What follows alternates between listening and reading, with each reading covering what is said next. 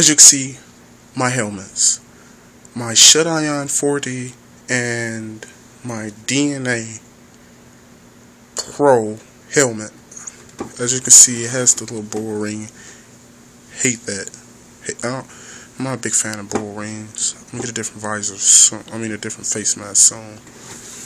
And uh, yeah, it went it went through like from spring until the championship week.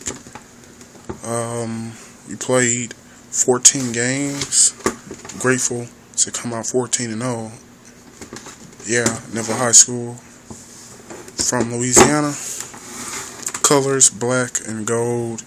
As you can see, we have a big sticker on the back for Veterans Day and breast cancer, and the coach passed away, Charlie Brown. Those CB stands for. Yeah, Let's take a look that helmet. Then we take a look in the inside. Uh, you see these pads.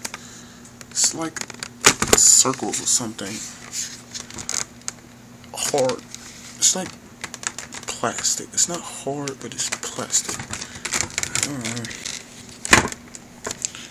Yeah. As you can see, circle.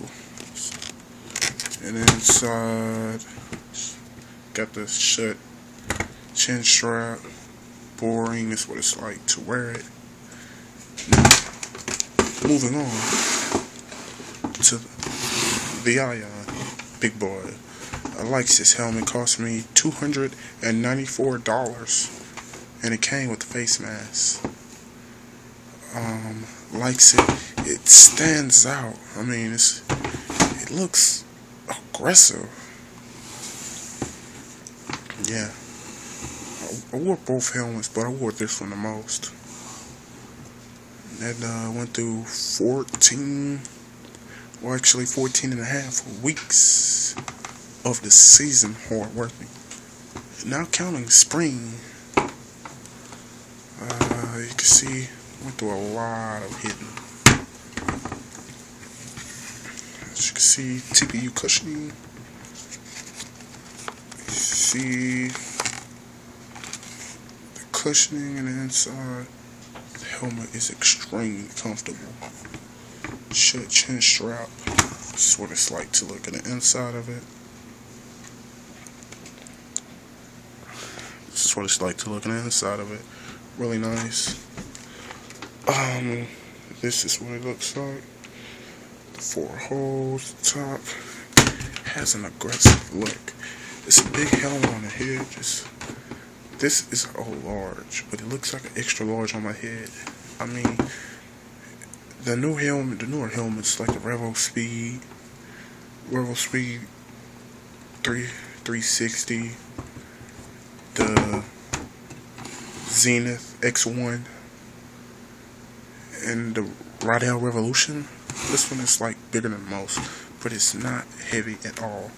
Uh, I modified it myself by putting a screw right there because I got tired of straps popping off, so I just screwed it in there. Pretty neat idea. It looks rugged. It's like it gives you that fierce look instead of the plain Jane. As you can see, the comparison is different of these two helmets this is one piece. Like this is just one piece. Once these are not really screws. I don't know what they are. They're like springs, but they look like screws, but they're springs. This this is all one piece. Like unscrew this, the whole white piece just comes off. On this one, when you unscrew this, this part comes off. Like you just take that off. Do you unscrew that one, then that come off? No, this is like one piece. And don't even have screws. You have these wedges um, we was practicing and it came out, and my face mask got started to get loose. Bad thing about this. Bad thing about this helmet, when you get hit, you feel it. I mean, you really feel it. But on this helmet, when you get hit, I mean, it absorbs the hit. It reduces 10% of pressure. I wouldn't say, I wouldn't go above that. I'll be just lying. Rugged look rugged look. this is my helmets. Hope you're gonna like it. And soon I'll be getting the Revo Speed 360. But I'm still have these ones. Really nice helmets.